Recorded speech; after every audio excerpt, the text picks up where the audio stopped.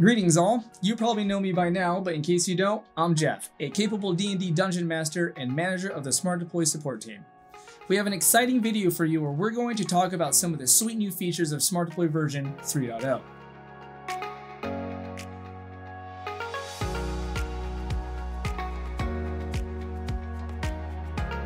Unlike our previous updates, version 3 is a complete redesign of SmartDeploy. At least it is under the hood. The user interface is the same as it was, direct and very easy to use. And while the major improvements aren't going to change how you use SmartDeploy, there is still some cool stuff that I want to call out. If you're interested in the backend updates, I have another video where I'll talk about the major architecture overhaul behind the scenes. But for this video, let's get into the new and enhanced features. Now, of course, I'm going to have some screen capture videos where I walk through seeing these new features in action, but I'm excited, so I just want to talk about them a little bit first. The first up is message history. We refer to any deployments that you send to clients as messages, and now you'll be able to view the message status history for any clients in your computer management workspace. This means that you'll be able to look back and see which images, application packs, and driver updates have been sent to a client, and most importantly, if they failed or succeeded. So no more guessing if you've already sent your Office 365 pack to a client. Next is the library rebuild. In the past, you might have found that one or more of your objects weren't appearing in the console. We've added an action to force the console to rescan and populate the different workspaces. We've also added two fields to the computer information that you can view in computer management.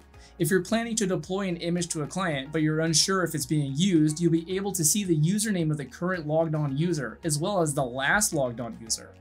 Now, you can check in with your user easily without cross-referencing documentation to find out who's using a machine.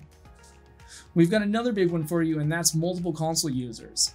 If you've had the SmartDeploy console installed on your workstation, you can connect to the SmartDeploy console service on your main host at your office and perform deployments.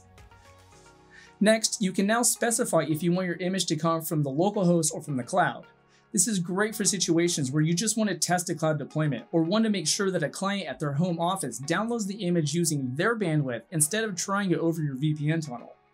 To add to this, you can now easily force your clients to use the cloud.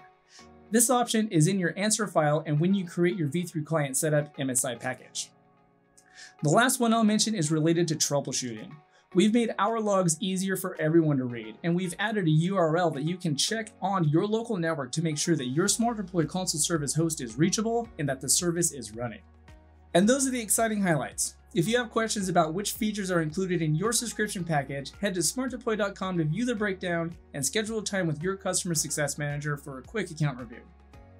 Upgrading to SmartDeploy 3.0 will take a few steps which I've outlined in my SmartDeploy V2 to V3 upgrade video.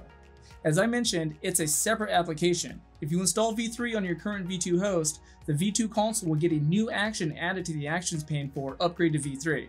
It'll send a job with your new V3 client MSI package that will uninstall V2 and install V3.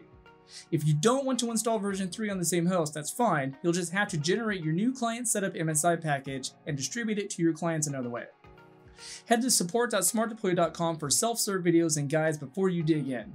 And stay tuned for more feature-specific videos. As soon as I'm done recording this, I'll get to work on some screen capture videos for these other features so that you can see them in action. But don't wait for me. SmartDeploy is just as easy to use as it always has been. It's kind of like trading in your car for the new model, except without the new car smell. And don't forget you can go to youtube.com slash smartdeploy for videos like this and more to help you along the way. Good luck with your deployments, and I'll see you next time.